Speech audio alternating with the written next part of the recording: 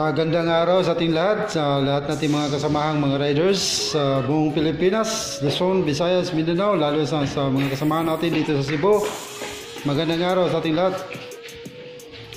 Ah, may pag-usapan tayo no, ah, tungkol to sa idea sa cornering. No?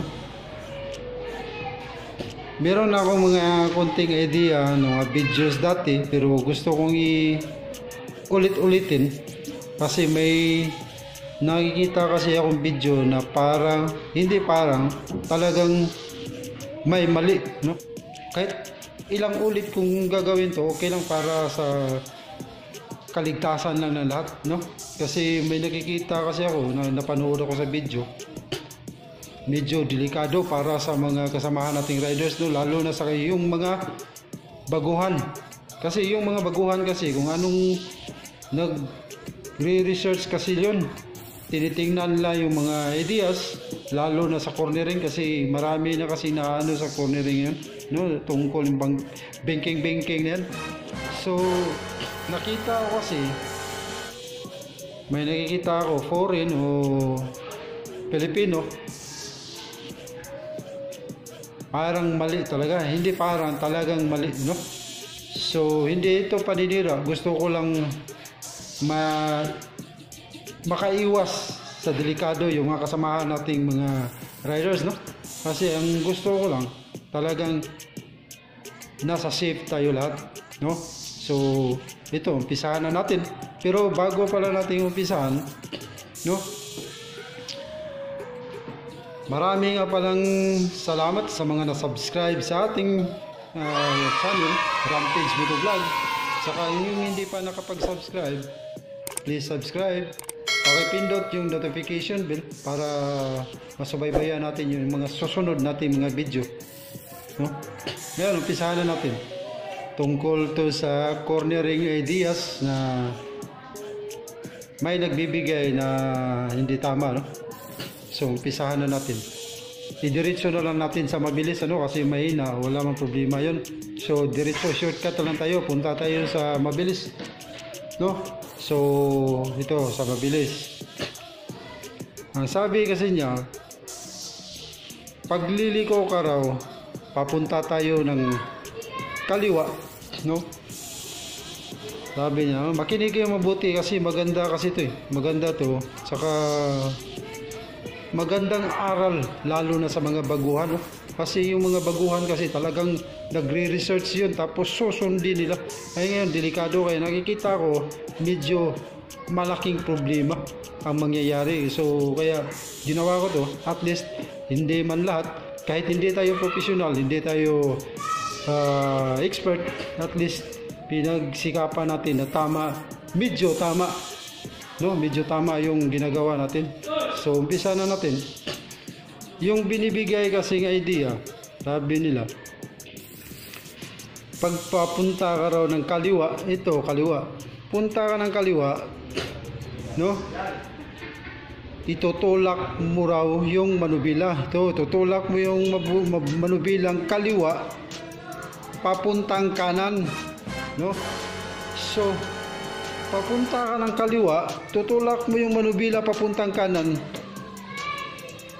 isipin nyo kung tama. Kasi liliko ka nga sa kaliwa, tapos itutulak mo yung manubila sa kanan. Anong mangyayari ngayon? Tumatakbo ka ng 80, isang daan, no? So, lilipad ka na para tayong superman yan. So, yung mga advice ko, yun ngayon, pag liliko ka raw sa kanan, no? Pagliliko ka sa kanan, ito kanan.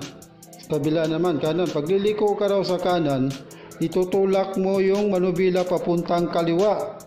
Ngayon, isipin nyo kung tama ba. No? Mabilis ng takbo mo, itutulak mo sa kaliwa. Liliko ka sa kanan, tama. Hindi, no? Hindi. So, ngayon, ang i-advise ko lang, no?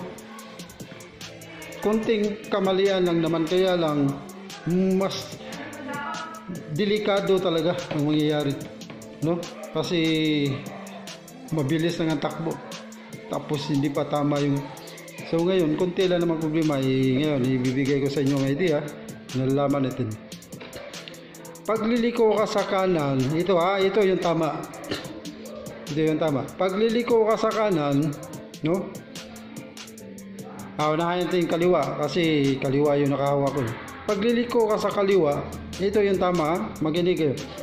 Pagliliko ka sa kaliwa, itutulak mo, ganun pa rin, ditutulak mo, pero hindi sa kanan. Tutulak mo yung manubila, liliko ka sa kaliwa. Itutulak mo yung manubila, no? Tutulak mo yung manubila, pababa. So, ganun. Tutulak mo pababa, hindi pa kanan. Liliko ka sa kaliwa, tutulak mo pababa, hindi sa kanan. No? Hindi ganun. Tutulak ka nga o papunta ka ng kaliwa, tapos tutulak mo ang kanan. Hindi, hindi ah. Itutulak mo pababa. Yun ang tama. Kunti lang, may kunti lang kasing mali. Tapos pag dito naman sa kanan, no, liliko ka sa kanan, tutulak mo yung kanan manubila pababa, no?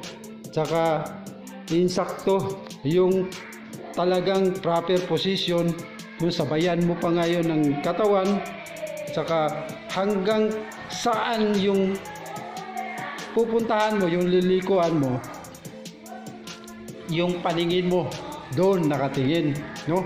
Kasi kahit kahit ganun pang ginagawa mo kahit naka sinabayan mo ng katawan mo no? Tinutulak mo pababa yung manubila yung paningin mo nasa harap nasa harap pa rin doon ka pa rin pupunta. Kung saan ka nakatingin doon ka pa rin pupunta.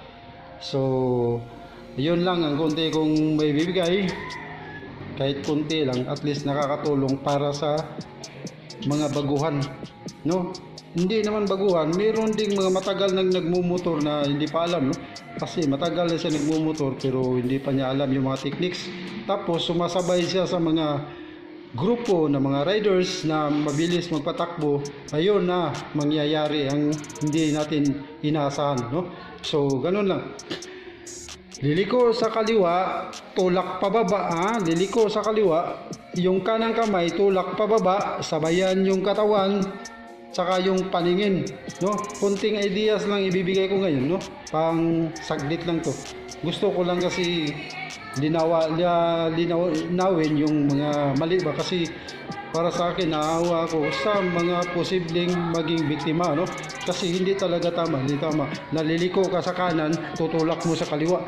Liliko ka sa kaliwa tutulak mo sa kanan. Hindi mabilis ang takbo natin. Lilipad tayo niyan. So ganun liliko sa kaliwa. No liliko sa kaliwa. Tulak pababa yung manubila sa kaliwa. No tulak pababa hindi tulak pakanan no liliko sa kaliwa. Itutulak yung manubila sa kaliwa pababa. No sabay katawan. No paningin. Ganon din sa kanan. Liliko ka sa kanan tulak yung manubila sa kanan pababa. Katawan paningin kunti lang bibigay ko no? Saglit lang parang madalian ba no? Pero at least nakakatulong din to. So hanggang dito na lang. Uh, please subscribe then hit uh, notification bell all para makasubaybay tayo sa lahat nating video. Huwag kalimutan Rampage Motovlog. Maraming salamat. Hanggang dito na lang. Thank you